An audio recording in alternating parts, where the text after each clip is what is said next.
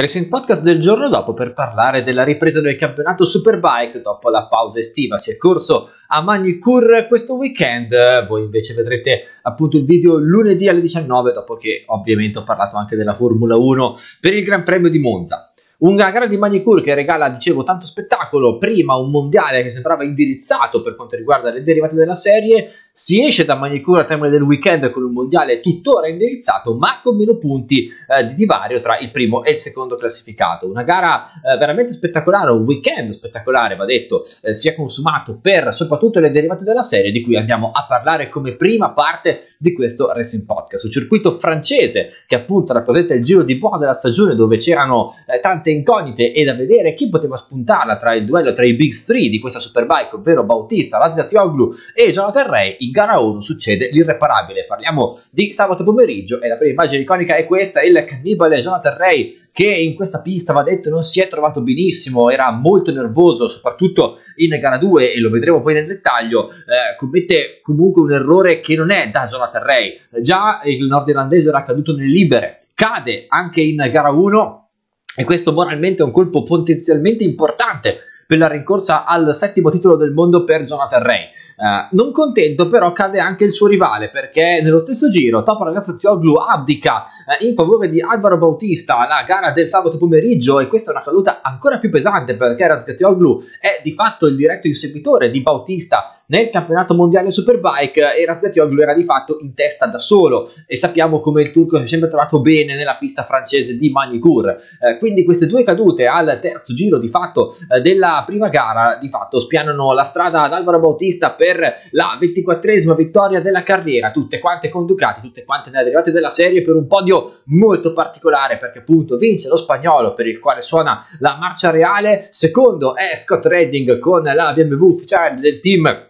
di Sean Muir. E terzo è Axel Bassani che conferma di essere uno dei grandi piloti emergenti di questo campionato Superbike perché ricordiamo che corre con la Ducati del team Motocorse, team ultra privato e Bassani si toglie spesso il lusso di battere tanti ufficiali e finire nelle prime 5 posizioni, qui invece addirittura fa podio e non su condizioni di bagnato come fu nella gara di Barcellona dell'anno scorso dove ci fu una grandiosa tripletta Ducati, qui invece è gara vera gara sull'asciutto, certo, Ray e Toprak sono caduti, ma grande onore ad Axel Bassani per il secondo podio della carriera. Toprak Gazadioglu invece raccoglie 1-0 e Bautista sembra allungare un vantaggio considerevole sui diretti avversari, ma la domenica in realtà è il giorno del riscatto del turco che vince la Super Pole Race e il podio torna a essere quello dei Big Three con appunto Bautista secondo e Ray terzo. Va detto che Bautista sulla carta non era il Big Three favorito, era il terzo dei tre. Eh, perché ovviamente Ducati sappiamo che storicamente sulle piste non puramente veloci e Manicur non è tra quelle, eh, non rientra nei favoriti per la vittoria.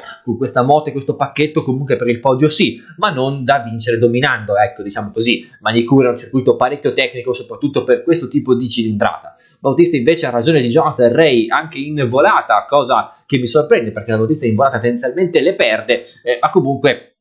ottima seconda posizione per limitare i danni rispetto comunque a un top ragazzaziolo che fa comunque il click mentale verso una doppietta perché poi dopo vincerà anche gara 2 una gara 2 che però è condizionata da un episodio tanto discusso e l'episodio tanto discusso è questo un errore colossale di Jonathan Ray alla curva Adelaide stende eh, Alvaro Bautista che appunto è costretto al ritiro. Jonathan Ray per questa manovra di cui vediamo il frame preciso dell'impatto sarà penalizzato penalizzato di un long lap penalty, quindi appunto un giro eh, lungo il tratto largo disegnato della pista di Manicure che gli farà perdere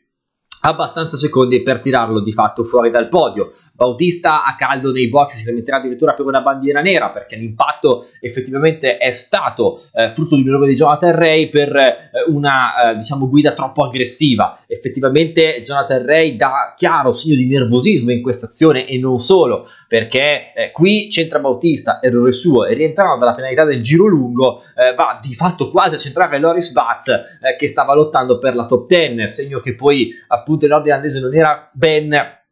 concentrato, è evidente probabilmente che le tante cadute nel corso del weekend hanno minato la sensibilità del cannibale dal punto di vista psicologico, cannibale che deve di fatto abdicare e di conseguenza c'è spazio ancora una volta per Toprak Razgatioglu che con le due vittorie di sprint race e gara 2 si avvicina a 30 punti di distacco rispetto ad Alvaro Bautista. Jonathan Ray è ancora in corsa ma ha subito un colpo psicologico importantissimo e questo Toprak evidentemente ha fatto secondo me quel quel click per provare a rincorrere un Alba Bautista che comunque ha fatto moltissimi punti in un weekend sulla carta non favorevole perché parliamo di un primo, un secondo posto e un ritiro. Mentre Rasgatioglu è vero che fa undicesimo in gara 1 complice appunto la caduta che l'abbiamo visto protagonista ma poi vince nettamente due gare e alla fine sono 302 i punti contro i 332 eh, di Bautista per il quale è stata la marcia reale. Per Rasgatioglu invece suona ancora una volta la marcia dell'indipendenza. Ottava vittoria nella stagione per quanto riguarda riguarda Rasgatioglu, è mancato Jonathan Ray che dei Big Three è quello che paradossalmente ha vinto di meno, ma l'abbiamo detto, Jonathan Ray è mentalmente instabile, lo è stato quantomeno in questa gara di Manicure, eh, terzo, quinto e ventiquattresimo a fronte di due pole, peraltro apro parentesi, Jonathan Ray e Rasgatioglu sulla carta dovevano essere i favoriti per vincere appunto tutte e tre le gare eh, e addirittura si è verificata una cosa che nel Superbike non è mai successa in tempi moderni, ovvero Jonathan Ray e Top Rasgatioglu hanno effettuato lo stesso tempo al millesimo eh, della qualificazione, qualcosa veramente di incredibile. Ma Ray appunto doveva capitalizzare eh, a Magnicur alla ripresa della pausa estiva e invece no, e quindi sono 285 punti per il nordirlandese che pian piano si sta staccando. È vero, mancano ancora 5 eventi alla fine e Ray può tornare sempre in corsa, ma oggi Jonathan Ray paradossalmente è una delle delusioni eh, del giorno. Chi invece non delude è sicuramente Axel Bassani perché l'abbiamo detto più volte podio incredibile in gara 1, podio altrettanto incredibile in gara 2, perché è vero che eh, la Zetione ha fatto quello che voleva, è vero che Bautista è caduto, ma Bassani era sempre soltanto lì e ancora una volta ha avuto ragione di tantissimi ufficiali di lui, in particolare la seconda Kawasaki ufficiale e appunto tutte le Honda, tutte le BMW e la seconda Yamaha ufficiale, veramente tanta roba per Axel Bassani che peraltro si gioca il posto, dicono i rumor, eh, con Michael Rinaldi l'anno prossimo per la seconda Ducati ufficiale, Rinaldi però che comunque ha saputo riscattarsela stragrande grande perché eh, è vero che finisce secondo eh, nella gara 2, ma è altrettanto vero che poteva anche giocarsi la vittoria con Tova Razedoglu. Peccato un paio di errori qui e lì eh, nella volata finale negli ultimi giri, ma grandissimo podio per Rinaldi che non finiva nelle prime tre posizioni da Misano gara 2, quindi parliamo di fatto di inizio giugno. Eh, certo, di base finire a podio in questo tipo di superbike è difficilissimo perché se va tutto bene e i tre big three non sbagliano, il podio è monopolizzato. Rinaldi con la seconda Ducati ufficiale sulla carta dovrebbe essere sempre lì a giocarsela nelle prime 4-5 posizioni fisso e invece ha sempre fatto un passo indietro nella maggioranza delle volte. Qui invece gara solida di Rinaldi, tantissima roba, è evidente che l'Italia della Superbike ha magari pochi esponenti rispetto magari ad altre categorie, ma quegli esponenti sono veramente dei cavalli da top 10 con punte di podi, con anche dei mezzi adeguati. E Rinaldi e Bassani lo sono, lo era anche Andrea Locatelli che però eh, in questo weekend non ha fatto eh, delle prestazioni incredibili, soltanto due settimi posti per migliori risultati, peraltro Locatelli non sta replicando lo stato di forma visto nel finale della scorsa stagione dove praticamente era sempre a podio e nei primi 5, Locatelli invece qui ha fatto come miglior risultato un secondo posto soltanto ad Assen, eh, è comunque una superbike che tolti appunto qualche protagonista quelli con le cadute ha dato spazio anche agli altri perché c'è spazio anche per per parlare di Scott Trading che comunque eh, sta trovando confidenza con questa BMW eh, M1000RR, una BMW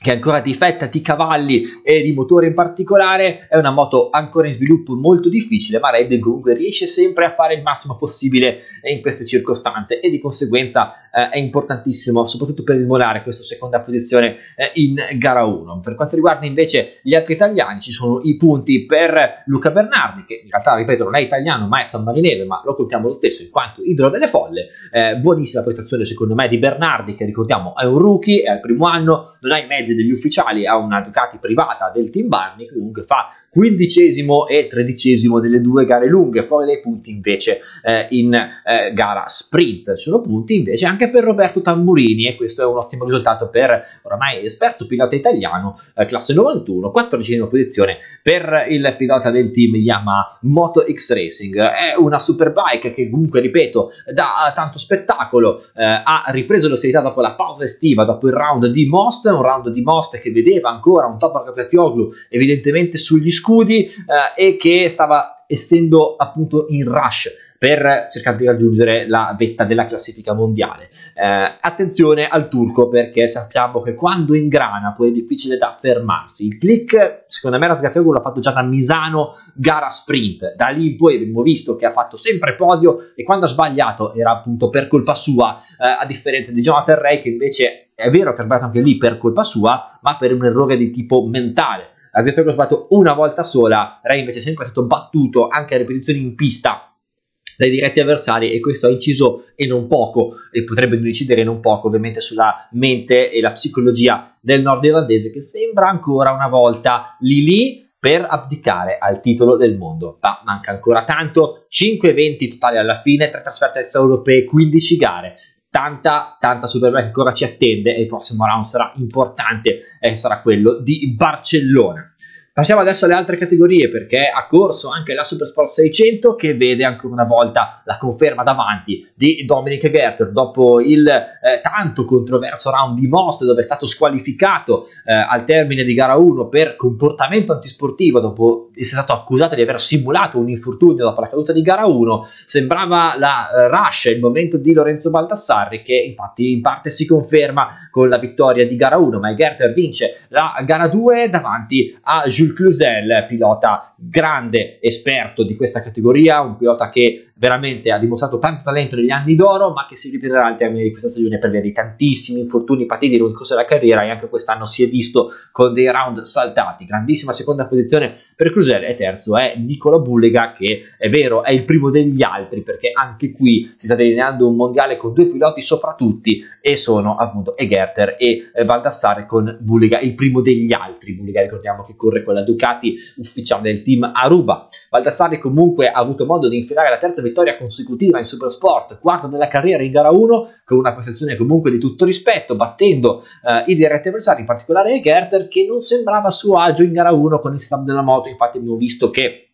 non era nelle primissime posizioni, ha dovuto fare una gara di conserva e ha limitato i danni, se così si può dire. Baldassari appunto era addirittura in testa a un certo punto della gara eh, in questo virtuale mondiale supersport. Seconda posizione invece per Glenn Van Stralen, pilota olandese al secondo posto eh, in questa gara di Magnicure, al secondo posto della carriera dopo la gara di casa di Assen e terzo appunto Egerter che comunque con eh, la vittoria eh, di gara 2 va a 286 punti eh, per quanto riguarda il mondiale supersport sport come la Superbike a 5 gare alla fine. Il mondiale che invece è quasi agli sgoccioli è quello della Super Sport 300 che appunto ha visto a Magnicuri il sesto di 8 round e anche come la Superbike concluderà nella trasferta, prima delle trasferte extraeuropee eh, con Barcellona e Portimao, qui due vittorie eh, in due gare differenti, la prima è di Matteo Vannucci, seconda vittoria in carriera per il pilota del team AG Motorsport Italia Yamaha eh, dopo quella di Misano e poi vince Victor Steman che qui in Magnicur gara 2 ha dimostrato di avere un passo clamoroso, nettamente superiore agli altri, al netto che comunque la eh, gara si è conclusa in volata, ma Steman ha dovuto rimontare eh, dopo una penalizzazione in gara. È comunque un mondiale molto interessante perché Steman con questa vittoria si issa al terzo posto del mondiale assoluto, rimangono davanti però Mar Garcia e Alvaro Diaz, i due spagnoli che si continueranno a lottare insieme a Steman il titolo del mondo è appunto mancano due gare e quattro eventi alla fine, si corre il 24 e 25 settembre a Barcellona e l'8 e 9 ottobre a Portimao, stessi round della Superbike, dunque anche qui ci sarà il nuovo Racing Podcast in concomitanza appunto di queste gare, sempre ovviamente non c'è la Formula 1 eh, come è capitato in questo weekend con il Gran Premio di Monza. Ricordiamo che in questo canale Formula 1, Superbike e MotoGP sono trattate in questo ordine di priorità, eh, appunto per quanto riguarda il podcast, e di conseguenza adesso possiamo rimandare al prossimo appuntamento motoristico sul mio canale e parliamo appunto del Gran Premio della MotoGP che sarà sempre in Spagna, ma ad Aragon il prossimo weekend sarà soltanto dedicato alle derivate dei prototipi con la gara spagnola. Il saluto da parte di Matthew Torgard. Ci vediamo al prossimo video.